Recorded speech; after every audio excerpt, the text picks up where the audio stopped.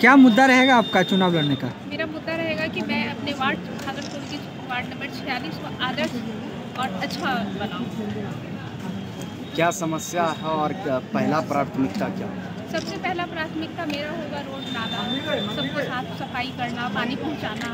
सबसे बड़ा बहुत दिक्कत है पानी का पानी पहुंचाना। और बहुत सी ऐसी समस्या है। जो जो समस्या आएगी सबको मैं देखूँ लोगों का कैसा समर्थन मिल रहा है? से तो अब मैं क्या बोल सकती हूँ? इसके लिए तो सब जनता ही बोलेंगे। परिचय क्या आपका? परिचय दें वार्ड वार्ड नंबर छियालीस।